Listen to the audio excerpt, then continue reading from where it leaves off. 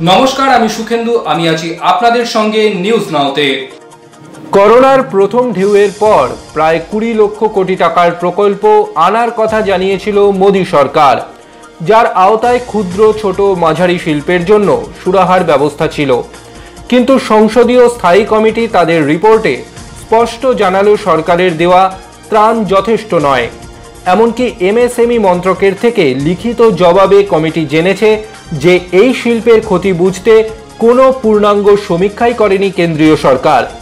সরকারের দাবি ছিল সরকারি গ্যারেন্টিযুক্ত ঋণের সুবিধা নিয়ে ঘুরে দাঁড়াবে ক্ষুদ্র ছোট মাঝারি শিল্পগুলি।